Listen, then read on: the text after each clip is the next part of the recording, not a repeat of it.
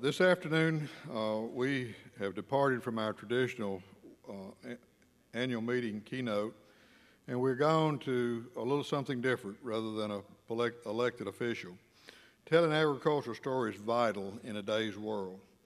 As the general public gets further and further away from the farm, their understanding of agriculture grows smaller and smaller. Our keynote speaker today is Trent Loos, a man who makes his living telling folks about the importance of agriculture. Trent produces and sends his radio programs from wherever his travels take him using his laptop computer and the internet. He presently has a radio listening audience of about 4 million people, and he can be heard on more than 100 stations across the nation. Trent frequently can be found addressing agriculture and non agriculture groups alike. Among his favorite audiences are our nation's youth, where he takes the opportunity to talk with them about the importance of food as a matter of national security and the value of their involvement in today's food production system. He and his wife Kelly operate a purebred Limousin and Angus herd. They enjoy working cattle, training horses, and raising their three daughters on their ranch in central Nebraska. Let's give a warm Farm Bureau welcome to Trent Loos. Thank you, sir. Thank you, David. I'm told this is on. Can you hear me? Can you hear me? All right. I can't see you, but I think you're out there. What a pleasure it is for me to be back in Mississippi and perfect timing to follow our recognition of ag ambassadors because it is high time that all of us learn to be better ag ambassadors. And I, I came in yesterday and I had the great opportunity to spend time with the young farmers and ranchers last night and uh, really issued a challenge. And, and really, I know that every one of us sit back and we identify the disconnect that exists between food producers and food consumers. But then it, it somehow follows up with, well, I'm a member of Farm Bureau and I got David Wade out there doing it, so I really don't need to. He'll take care of it and all of the wonderful staff. And really, the answer to the question in expressing what it is that that sign says, the voice of Mississippi agriculture, is that we all accept some level of responsibility in explaining the culture of farming and what it means to not only those of us in agriculture, but 310 million Americans and ultimately 9.2 billion people in the world in 2050, according to the United Nations. Ten years ago, I decided that we needed to do a better job of telling the story, and it happened because I was actually ranching in western South Dakota at the time, and a guy by the name of James Cromwell came into western South Dakota and he was talking, he had a group of 300 people that were listening to him, and he was talking about the day that he was riding his Harley Davidson on Highway 54 through southwest Kansas into Oklahoma. And if you've been in that country, it is a livestock agricultural paradise. Well, that's not exactly how he phrased it, because he was talking about riding his Harley Davidson, and he said the stink and the smell from the hog and cattle factories was so bad he had to turn around and go the other way. And then he said, You know, and I've decided right then and there that I was going to do whatever it takes to put animal agriculture out of this country. Now, first of all, I found it somewhat ironic that a guy's talking about chasing hog and cattle production from the country while he's riding a Harley Davidson, something that we consider to be a hog. But I also realized that he is going to tell that story every single day. And unless someone who has hands on experience starts explaining why it is that we need, in particular, animal agriculture, they're going to begin to believe him. So I found a way. I actually just walked into, one week later, I walked into a guy's radio studio in Spearfish, South Dakota. I walked in, I said, Hi, my name is Trent Loos, sixth generation United States farmer, and I want my own radio show. And this was in May of 2000. Jim Thompson looked at me and he said, Yeah, you and every other American. And then I sat down. He said, You're serious? I said, In fact, sir, I'm not leaving until we get a deal. And long story short, six months later, we began producing a radio program together, and then I began producing Loos Tales. And I think that there's an interesting story in this for all of us. Loos Tales, as I began this program, was a daily look at production agriculture. And after two years traveling the country, every time I'd drive past a radio station, I'd pull in, I'd go in and introduce myself. Hi, my name is Trent Loos, sixth generation United States farmer, and I produce this radio show called Loos Tales, where I tell the story of production agriculture. And after two years of doing that, I had about 12, mostly AM farm radio stations telling the story. Now, what's the problem with that scenario? Did it sound like a rhetorical question? Preaching to the choir. And the choir is too quiet, but yet we've got to get beyond the choir. And then I did a, accidentally did a tremendous thing. I was in Washington, D.C., had a meeting with a guy by the name of John Doyle, the Center for Consumer Freedom, and we were talking, and I said, Well, I'm going to go down to NPR when we get done here and talk to them about getting on the radio. John Doyle looked at me and he said, Well, do you have an appointment? I said, what? He said, Well, you can't get through that iron curtain without an appointment. I said, Obviously, sir, you don't understand the power of a black hat. well, what happened was I had a sit down meeting with a program director for NPR, and I told her the same story. My name's Trent Loos, sixth generation United States farmer from Nebraska, living in South Dakota at the time. And I produce this daily radio program called Loos Tales, where I tell the story of production agriculture. And the lady looked me right in the eye and she said, Sir, we can't talk about agriculture on NPR. It's boring. Apparently, there's two people in the back that listen to NPR. and I came home thinking, agriculture is boring the essentials of life, the conversion of natural resources into human consumable products that enables mankind comes from agriculture. I can sit here with a lady who's in charge of national programming for NPR, and she can tell me that agriculture is boring. And the next time that I walked into a radio station, I remember it clearly, it was Omaha, Nebraska, it was a classic country FM station. I walked in, I said, Hi, my name is Trent Loos, sixth generation United States farmer. I produce this radio program called Loos Tales, where I identify the people and places in rural America that truly make it what it is. Oh, you mean like a cowboy Charles Kuralt? Yeah. And eight years later, you can hear Loos Tales in 19 states on 100 stations because I learned how to position what it is that we do in a way that people think they are involved in. And I think to a large degree, the, the challenge that we have is that we want to come up here and we want to tell the story of agriculture, but we always start with, I'm an eighth generation farm. And, you know, like my new friend Glenn, whose family's had Missouri Foxtrotters on the same place for, since 1895, the oldest place. And that's the history and heritage that we want everybody to understand. And the truth, the sad truth is that the average soccer mom in this country doesn't care about our history and heritage. What they care is about what we do today that improves their family and their kids. And that is how we have to begin to tell the story in a way that they can relate to and that they can understand. You know, I just about got held up here because Gary King cornered me back there and wanted to know who I was, where I was from. I don't know what he was selling yet. I'm sure I'll find out later. But the most common question that I get, just like Gary asked, how big can your ranch actually be if you're never there? Because I, I mean, do you know how you know you've been gone too much, too many nights in a hotel room? You come home and instead of turning the faucet on, you stick your hands under there and you expect it to just automatically come on. You know, then you know you've been in a hotel too much. I spend about 200 nights each year in a hotel for, for the last two years. This year, again, had the opportunity to speak in 38 states, 14 times in the state of California.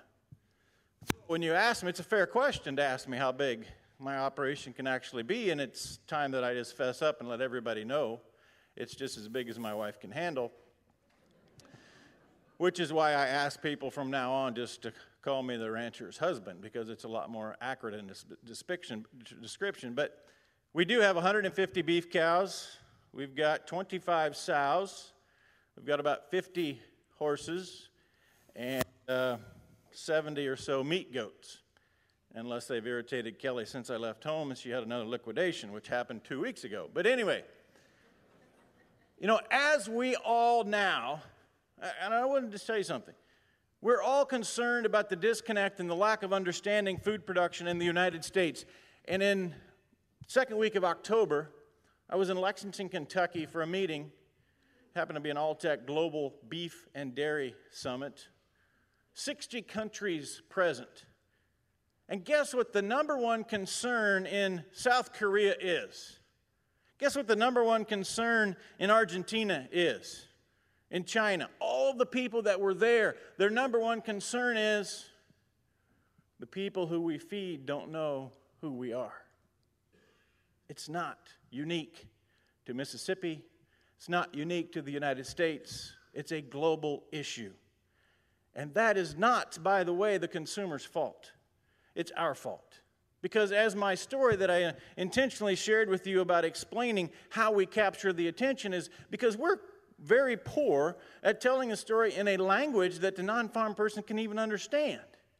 And I learned this the hard way the other day in the Detroit airport. Because as I told you, I'm a rancher's husband, and we had been kidding goats at the house for about two weeks, a couple of months ago, in August actually. And the last thing that I do every time when I get on a plane or I'm in the airport is call home and check with Kelly to see how things are going. And like I said, we'd been kidding goats, so I sat down in my seat on the plane and I said, Honey, did we have any more kids today? Another set of triplets? Well, needless to say, when I hung up the phone, the lady sitting next to me wasn't very excited about my wife being home having triplets, and here I am in the Detroit airport. You know, and I started thinking about all of the things that we say on a daily basis in agriculture and there's no way that people outside of our small community would even begin to understand what we're talking about. And I'm a pretty slow learner because the other day I made the same mistake. I was in Chicago O'Hare. I told you we've got 25 sows. We're doing quite a bit of artificial insemination. And before I left that week, I had weaned three sows. I had them in a pen next to the boar. Kelly just needed to heat check them. Semen's in the basement, and she breeds them.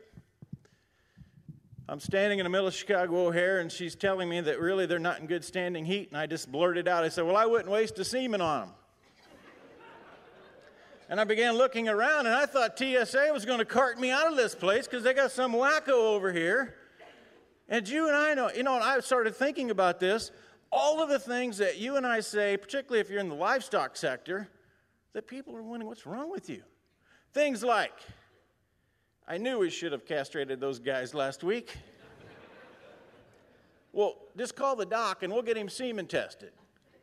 You know, I share the enthusiasm of the mule headed farmer pen because I do raise a few mules each year.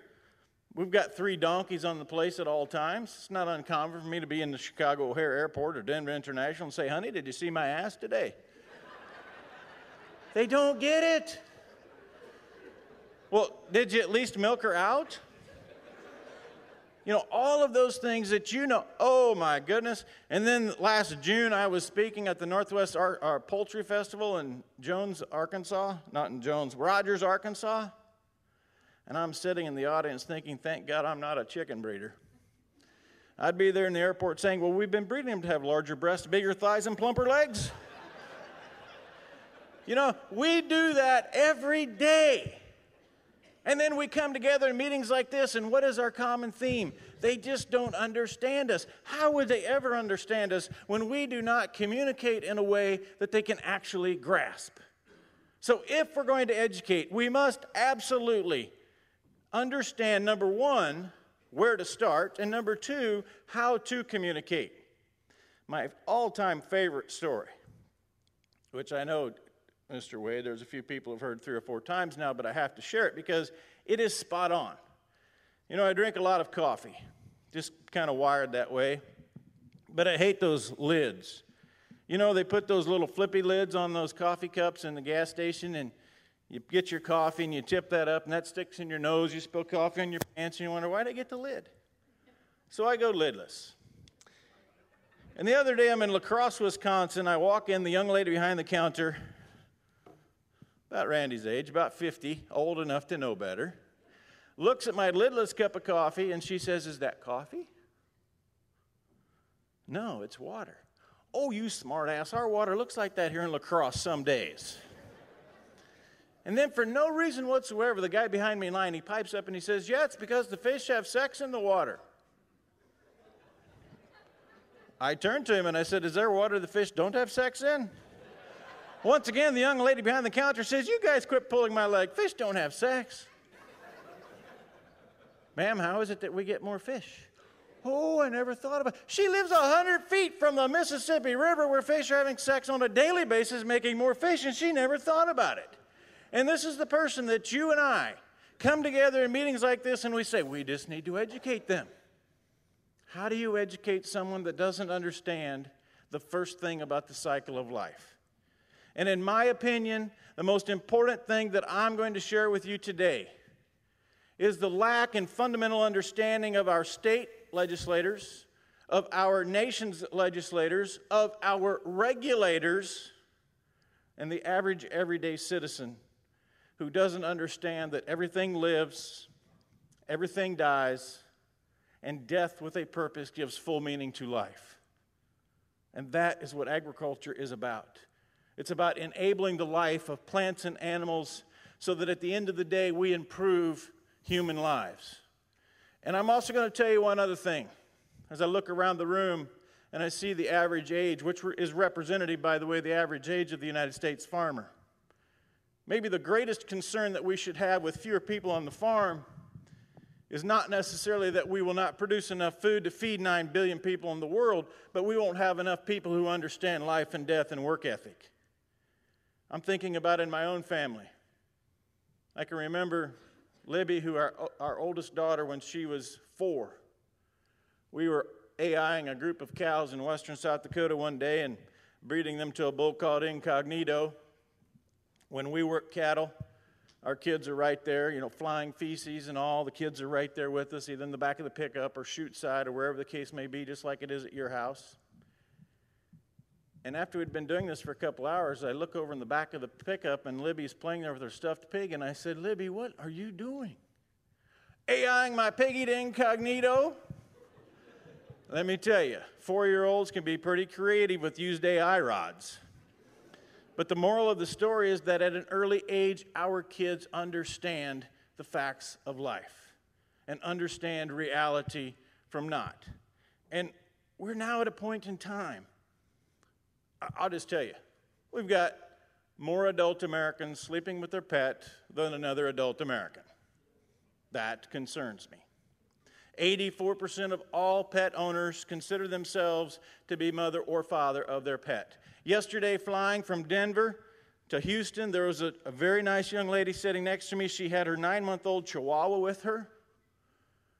And once everybody figured out she had a dog, they started filing by. Oh, can I pet the puppy? She's so cute. If she had, and when the puppy would whimper, they would say, Oh, well, that's, it's just not fair to her to be all cooped up and traveling like this, the poor puppy. And had that young lady had a nine month old baby with her that was crying, what would most people have said? Why can't you shut that kid up? In fact, here's how bad it is all airlines now have a place where you can go online and figure out how well you tre- they treat your pets before you take them, which I don't have a problem with. I have three dogs at the house. I wouldn't think of saddling my horse going to work cattle without Apache by my side, where she has been for the past 10 years. But we don't have a place online to go see how they treat the elderly or babies or handicapped but you can find online how they treat your dogs or cats. Fastest growing segment of the insurance business health and mortality for the pet. Fastest growing segment of the insurance and, or uh, of the estate planning estate planning for the pet. I used to tell people that. They'd come up to me and they'd say, Oh, Loos you're nuts. And unfortunately, Leona Helmsley died. I don't think that came out exactly like I intended it, but she cut her grandkids out of the will and gave her dog $12 million. What does a dog do with $12 million? Hire a really good attorney. Wait, that's no longer a joke. We have a regulator in the Obama administration, Cass Sunstein, who openly states we've reached a point in time when animals should be able to sue people. That's the world that we we have people giving their dogs Neuticles. Does anybody here know what Neuticles are? Somebody. Okay, what's your name, sir, on the end there on the right? I can't see you. They got these great big old floodlight. Lee, what are Neuticles? Lee's proud of this. He stands up, let you all know. They are implants, they're artificial testicles that people are putting in their neutered dog because they're afraid when their dog is walking in the park next to a dog who still has his real testicles intact, their dog might lose self esteem. Now, when did we ever consider our dogs to have self esteem? Oh, and we're willing to spend upwards of a $1,000 to give our dog self esteem. I'm curious, Lee, what'd you spend?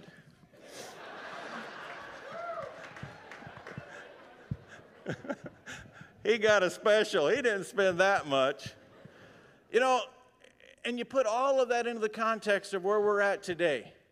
And you have people that know, they absolutely, their conscience is telling them, we're spending too much money on this dog. We're treating this dog like a kid, and we shouldn't be. And instead of fixing the problem, what do they do? Along comes an organization called the Humane Society of the United States, the richest animal rights organization in the world, have annual revenue each year of $100 million. Do you know how they get that? Because people inherently feel guilty about what they are doing to their own pet. And here's Wayne Pacelle talking about we're out there every day working for animals. He never tells them that half of one less than half of 1% of their total revenue goes to any animal, but they're lobbying every day to shut down animal agriculture and hunting. But because people inherently feel guilty about how they're treating their own pets, they give them money because they're working to alleviate the problems with sows and gestation crates. Or those terrible horse owners who send their horses to a horse harvesting facility. They mislead people and collect a lot of money doing it. And that is why we're in the position that we're in. But I have to tell you this that we are in a pretty good position when it comes to taking the life of an animal because we believe in providing all of the proper animal welfare. And for me, animal welfare is not some complex formula, it's quite simple. Making sure that the animal has access to feed and water on a daily basis, providing protection from Mother Nature, who I don't need to tell anybody in Mississippi how cruel she can be, and protection from predators. You know, I'll get those people, particularly in California, they'll come up and say, Well, I only eat free range chicken. Do you know my definition of a free range chicken? A chicken that gets free aerobic exercise every morning because a coon, a skunk, or a fox thought they looked like a great morsel. And I don't have a problem with people that want to eat free range chicken, but don't tell me that's how we should raise them all. But that is proper animal welfare. And once we accomplish those three things, then the final part of animal welfare is render the animal unconscious immediately and respectfully harvest the animal because the animal has lived its life and now it is here to improve others.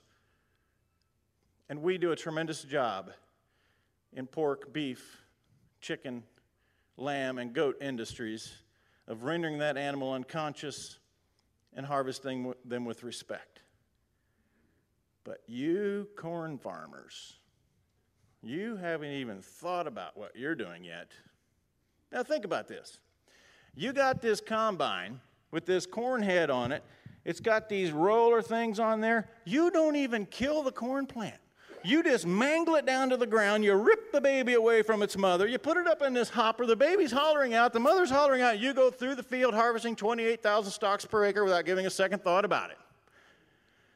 And as you sit there snickering, I think you'll be surprised to learn that three universities on the North American continent are studying whether or not plants feel pain. Guess what? They do. We've determined that plants not only feel pain, but we've now determined that the plant has the ability to have cognitive thoughts and knows whether it's related to the neighboring plant and more aggressively or less aggressively seeks nutrients in the soil based upon whether it's related to the neighboring plant. Now, for any of us in the cattle business or any type of pasture management scenario, for a long time we've known this because how many of you have ever seen a spot in your pasture where you have one thistle. Hell no, it's like a family reunion over here. You got one, they're sending it. We didn't know they were sending out text messages and emails saying, Come on over here, we killed the grass. Only a nation where things come as easily as they do in the United States do we study whether plants feel pain, and if plants have cognitive abilities. Tell me, do you think this is something that's high on the research list, or let's say in Ethiopia? Absolutely not. But we are human beings and we have it, uh, such an abundant supply of food because the United States farmer and rancher has done such a tremendous job of year after year utilizing a land grant institutional system like you have at Mississippi State, having three legs of the stool research, development, extension, teaching. And we t- apply that to the land and we improve the efficiency and make those essentials of life available more every year. To me, somewhat inspired by Randy and Lamar both, the, the worst travesty today in food production, it's what's happening in the dairy industry. I doubt whether you're in the dairy industry or not. Lamar tells me there's only 125 dairymen left in the state of Mississippi, so I doubt that many of you in here are involved at all. But we have 80% of all teenage girls calcium deficient. We have 50% of all Americans calcium and vitamin D deficient. Our per capita of fluid milk is at an all time low since 1940. Mayo Clinic reports more, more bone breaks, and more fractures, more poor bone health than any time in recorded history. All of these nutritional deficiencies in a population that's overweight, and the very person who supplies calcium and vitamin D to the marketplace has struggled to make it for the past two years. In fact, we now have dairymen, who I think is mis- a misguided scenario, looking and talking about the quota system so that we can cap how much milk we produce. That is wrong when you take into consideration that the very products and the nutrients that are produced from the dairy cow improve human lives in two ways that we're not getting enough of. That is what agriculture is about. It's not about being the number one economic stimulus for the state of Mississippi. We love that. It should resonate, but agriculture is about converting natural resources into human consumable products food, fiber, pharmaceuticals, and fuel. That's what we do. In the dairy industry, the other success story. Everybody right now, it's the buzzword is green. Are you green? Well, there's nobody more green and more sustainable than the dairy industry. Individuals who continue to implement modern technology you look at what Cornell University documented two years ago, two and a half years ago. They showed that today's dairyman, compared to 1944, utilizes, produces with the same gallon of milk produced, they only consume 35% of the water that they did in 1944. It only takes 10% of the same land mass to produce a gallon of milk today that it did in 1944. Oh, and if you care about this, we emit 63% less carbon per gallon of milk produced than we did in 1944. If General Motors had a car that was as green as today's dairy cow, CNN wouldn't stop talking about it. And when was the last time you heard somebody talking about the efficiency that's happening in the dairy industry? The beef industry, a similar story. We have the same exact number of cows that we had in 1955, and yet we produce twice as much human consumable protein. Not to mention all of the other byproducts. You know, and, and we got into this story. Randy actually sent me down this path because he had a conversation on an airplane that I have every single week. There's a word that comes up every week in my travels hormones. Hormones are bad. I don't know if you've heard. They're the worst thing you can possibly have. In fact, I like to share with them that we wouldn't, none of us, be here if it wasn't for a hormone, but that's a little over their head. So we back up. In fact, I'll be just walking through an airport and I'll get people to come up to me and they'll say, I never understood the first question, but it's always the same. Are you a real cowboy? Well, ma'am, because it's typically a 30, 40 something year old career woman who legitimately has concerns about the crap they hear about their food supply they have kids at home that they're trying to feed properly, and they get all of this noise from internet folklore, even from misguided pediatricians. She'll come up to me and she'll say, Are you a real cowboy? And I always answer the same way Well, ma'am, it depends on your definition of a real cowboy. Mine happens to be anyone who is willing to follow the spirit that resides within themselves to see a task to completion and then willing to accept the responsibility of the end result, a real cowboy. If that's your definition, then yes, I qualify. Whatever. What I really wanted to know, she'll ask, what are you cattlemen putting in the nation's food supply causing these girls to reach puberty at earlier ages? I am so glad you asked me about that because you see, our young girls today are reaching puberty 18 months before their mothers. 24 months before their grandmothers. But I'm curious do you know what hormone we use in the beef industry? No, we call it estrogen. Oh. And you can see little lights beginning to flicker in her head because she's thinking, wait a minute, I have estrogen. Yes, ma'am. In fact, what I would like you to know that if you were to take a three ounce serving of organic or natural or grass fed, all tremendous options eh, for you as a consumer, no safer, no healthier, no more nutritious, but a choice that you have as an American consumer. If you're to take that three ounce serving that's never had any additional hormone added, you would get 1.39 nanograms of estrogen. If you're to take the same three ounce serving of beef from a conventionally produced steer, where the protocol is to give them two administered doses of estrogen, you would get 1.89 nanograms of estrogen. 1.39 compared to 1.89, is that statistically significant? Wait. The average garden salad has 1,200 nanograms of estrogen. The average cabbage leaf, 2,000 nanograms of estrogen. The average tablespoon of soybean oil, 28,000 nanograms of estrogen. And, ma'am, you're not taking birth control pills, are you? Because the average birth control pill has 34,000 nanograms of estrogen. So you can see why I'm a little bit frustrated that you're worried about the hormones in the beef supply and you're putting 34,000 times that same hormone in your mouth every single day and you didn't even know it. And depending on how the conversation is going, I might then ask, and you don't know where we get those that natural estrogen we put in those pills, do you? No. Oh, this is cool. You see, we take these pregnant horses, we collect their urine, we separate the estrogen out of the urine, we put it in a pill, and you put it in your mouth. Isn't that neat? and that it's about the time that she'll say, Oh, that's my plane, I gotta go.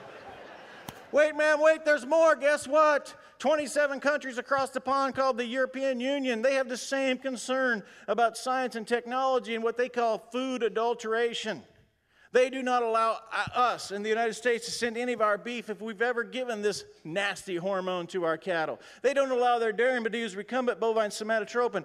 They don't even allow crop producers to use biotechnology in crop production. And guess what? Girls in the European Union are reaching puberty 18 months before their mothers, 24 months before their grandmothers. How can it be that two countries who have such vastly differing views on food production and modern technology have the same exact phenomenon occurring. I have a theory. My theory is that not enough soccer moms globally have ever developed a group of breeding heifers. Because you see, if you want in the beef industry a breeding heifer to reach puberty and to calve by the time that she's 24 months of age, what is the first and most important thing you must do to her, David? Feed her. Get her body fat level up high enough so that the day that you want her to really come into puberty and give her a, a, a prostaglandin, she will respond. Or we put a bull in the neighboring pen and either one will get that heifer to come into puberty at an earlier age, if and only if she's at a high enough percentage of body fat. Now, let me ask another question. Our young girls today, percentage of body fat higher or lower than a generation ago? Not even close. Higher. Compared to two years or two generations ago, off the chart. Now, another question Do our young girls have access to more or less sexual stimulation on television, on computer screens than they did a generation ago. off the chart. You got two and a half men on 24 7. And are we to somehow think that that's any different than developing a group of breeding heifers? But I will give you a bit of personal advice. If you're in an airport or any public place comparing a stranger's daughter to that of a breeding heifer, a pair of fast shoes comes in handy because not all mothers get it, okay? and for those of you women who are going to come up later and say, but what about the boys? I'm pretty much convinced that since the beginning of time when the doctor slapped the baby's butt and said it's a boy, puberty has begun, and I don't think anything's going to change that. So let's just get that out in the open. One final thing that I want to share with you about the EU, which is really a pet peeve of mine. Right now, we have so many people that start every sentence by saying, well, we need to put a ban on biotechnology because the EU did it. We need to ban antibiotic, antibiotic usage in animal agriculture because the EU did it. Here's what they never tell you the EU in 1997, 20% of the food consumed by the EU consumer was imported. And today it's doubled. In 13 years, their imported food has gone from 20% to just at 50%, one and two bites. Nobody ever tells you that the per capita cost of food has increased by 33%. Those are the stories that we got to bring front and center. And that is, my friends, a celebration of what has been accomplished. Why is it that we always talk about the number of farmers that leave and all of these things, which I fully have sympathy for, but at the same time, why don't we talk about celebrating the success stories and the survivors who, through mandated ethanol, misguided percept- or, uh, initiatives, we still have the United States consumer going to the grocery store and spending less than 10% of their food or 10% of their disposable income on food. We had at Thanksgiving last week turkey selling at 77 cents a pound. That is a success story for the American consumer. And everything that we do has to be put into the context of we do it for you, the consumer. That's really what agriculture is about improving human lives around the world. I have one more San Francisco story that I want to share with you. As I mentioned 14 times this year in California, and I've been using San Francisco as kind of like a little pet project because, quite frankly, I figure if I can pull things off in explaining agriculture in San Francisco, I can do it even in Jackson, Mississippi. I was called in April of this year by the, a guy by the name of Seth Dalton. Seth Dalton had recently been hired by the Cow Palace, owned by the state government of, of California, to put the cow back into the Cow Palace. I don't know how many of you know the Cow Palace story was built in 1941. They have a Grand National, which is very similar to the Dixie National right here in Jackson in February. And poor leadership allowed that to fall off. It's, it's a Daly City right outside of the city limits of San Francisco. And poor leadership had allowed that to fall off to the point where they didn't even have one last year. So they hired Seth Dalton to put the cow back into the cow palace.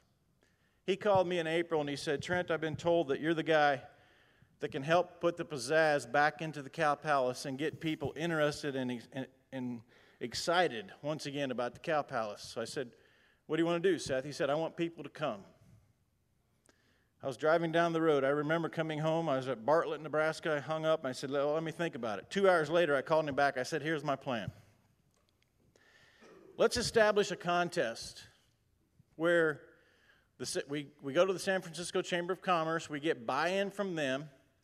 We establish a contest where every business who wants to participate in San Francisco brag about how they use the cow in their store. Now, People obviously say, well, if you're a restaurant, that's great. But I challenge you to walk the streets in any town and look in a store where you can't find a component of a cow. Photography shops, that painting that we just sold has a component of a cow. Every tire made in the United States has stearic acid in it, which comes from a cow you know, if you think about that the tire doesn't have a tube and yet it holds its shape right on that rim, that is made possible thanks to stearic acid from the cow. 104 life saving pharmaceuticals come from animal agriculture. Every single surgery in America has a product called thrombin that is what prevents the, the patient from bleeding out while on the table, promotes coagulation. That comes from a cow. I can walk down the streets, look in every store, and find a component of the cow. So I said, Seth, we go to the Chamber of Commerce. We explain to them what we want to do and to let their business members who want to participate proudly display a banner saying, We used a cow, and here's how. And I said, Call the chamber, let's set up a meeting. So in the middle of May, I flew out there, Seth Dalton, myself, and Maureen McElvoy, we sat down. She'd been at the Chamber of Commerce for 27 years. Seth told her he was going to put the cow back into the cow palace. He said, Trent's here because he's got an idea how to engage the non farm portion of San Francisco in this project.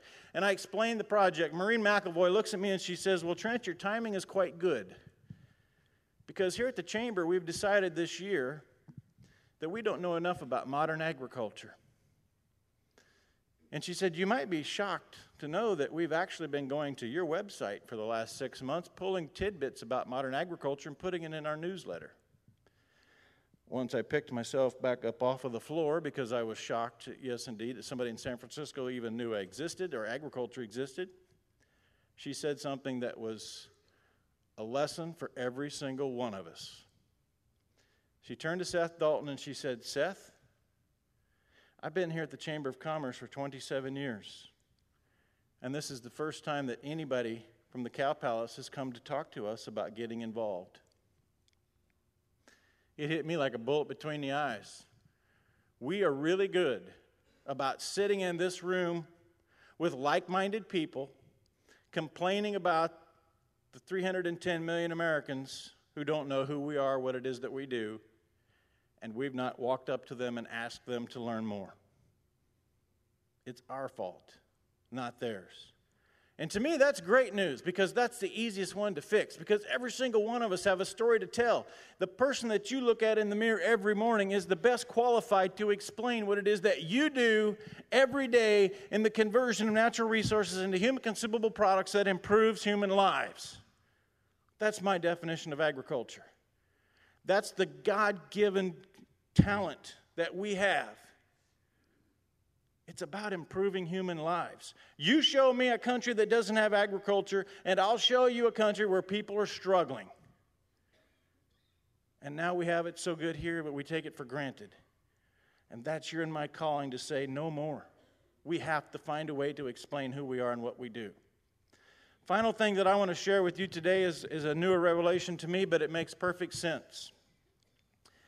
I did not grow up in a military family, although I had uncles that were involved in the National Guard.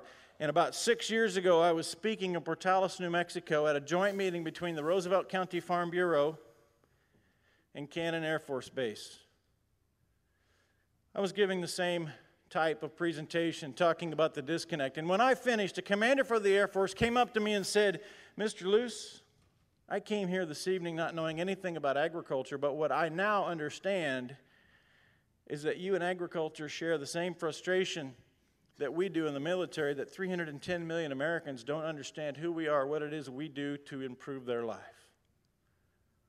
And again, it was like an awakening. I came home and I got to thinking the two most important people to the future of our country, to the future of national security, are the troops, the soldiers, the sailors, the airmen, the Marines who for now 234 years have been willing to risk their lives and everything about their family to travel the country to rid oppression and to maintain a free opportunity for the next generation of American citizens. And right alongside that is the farmer rancher who converts the natural resources into human consumable products because a country who is dependent upon another land for food is vulnerable. And the sad irony is that the two people that are most important to the future of a free America are the two people that most Americans know the least about. So I started suggesting that every Friday we wear a red shirt to say thank you to the men and women that for 234 years have protected your and my freedom, and that wasn't my brainchild. I found on the internet that at the end of World War II, the Ladies Auxiliary for the VFW started this as I find, David, most women start things that men try to take credit for later. And I said, why don't we do this now? And then we started making red shirts that say Americans in Agriculture, we support the troops. And in the past four years, we have, uh, by promoting them on the website and on the radio, we put about 400 of those red shirts out. And then I got a phone call from a lady in Montana named Avis Hoff who called me two, a year and a half ago. She said, Mr. Loos, I listen to you every morning on the radio station in Williston, North Dakota, talking about supporting the soldier and the farmer. And we'd like to adopt that as our theme for this year's Miss Montana Scholarship Pageant. Would you be willing to send us 24 of those red shirts and not have all 20 of the Miss Montana Scholarship contestants wear them in the parade? on Friday, June the 13th in Glendive. Miss America is going to be here. We'll have her wear one. Miss Montana last year is going to be here. We'll have her wear one.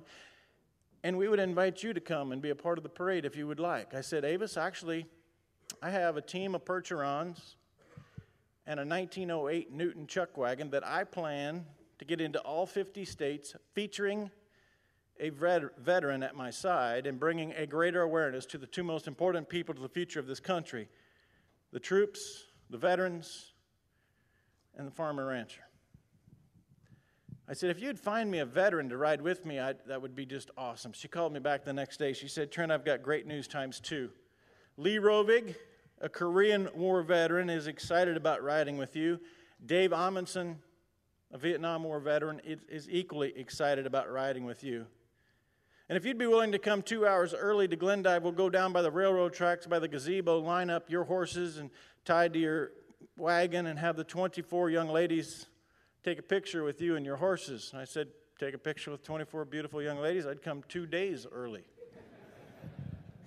Picture went well. We go down to the staging area. Lee Rovig gets in the wagon, Dave Amundsen gets in the wagon, we go through the parade. We get to the end of the parade. I'm always carrying my recorder on my hip. I jump off, I interview Lee Rovig, say thank you for your time served. I interview Dave Amundsen, I say thank you for your time served. But the entire time that I'm talking to these two American heroes, I'm still kind of worried peripherally about where my horses are. Each weigh a ton, could do a lot of damage in a town. My daughter, who was 10 at the time, is riding her horse around in a strange town. She has a friend with her. Miss America's here. Wouldn't mind interviewing her, you know. All of these things peripherally are going on, but I thought at the end of the day, what a great event. Jump in the pickup, I head home, get home on that Sunday evening, and get an email from Lee Rovig's daughter on Tuesday that said, Mr. Loos, our entire family would like to thank you for giving our father the great honor of riding with you in your chuck wagon in Glendive on Friday. Because probably no one told you that our father obviously shared the same passions that you have in life, and that he ranched near Plentywood, Montana his entire life. He had a wagon that was quite similar to your wagon and a team of Percherons that were eerily like your Percherons. And he even participated in the 1989 recreation of the Western Trail from South Texas to Miles City, Montana. So for you to grant him the opportunity to ride with you is awesome, and we say thank you. And probably no one told you that the day before the parade, our father was diagnosed with cancer and given X number of days to live. And quite frankly, I was pissed.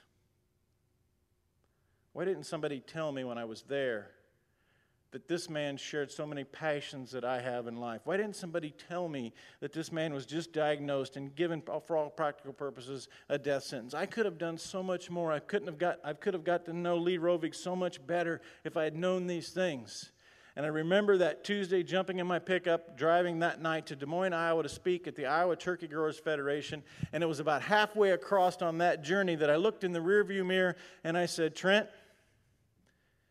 it wasn't their fault, it was yours.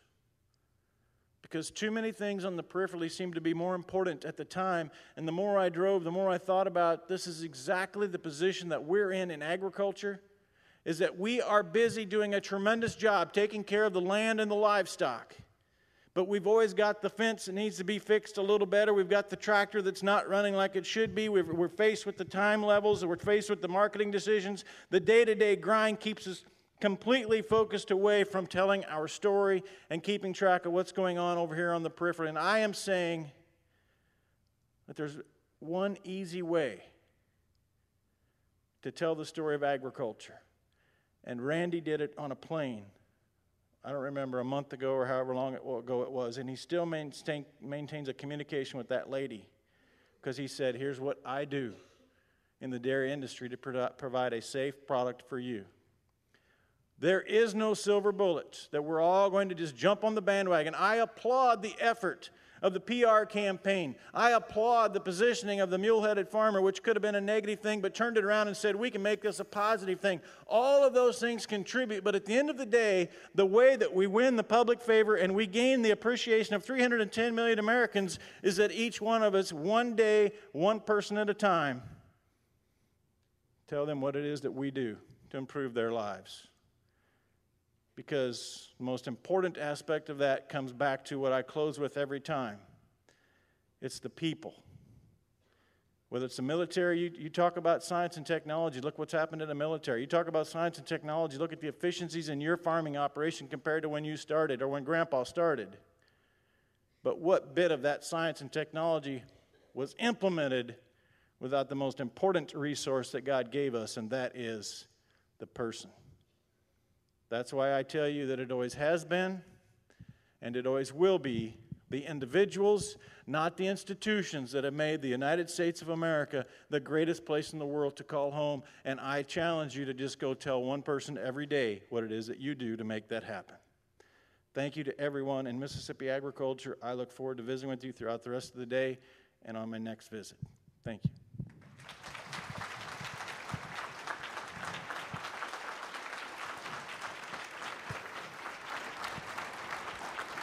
Thank you.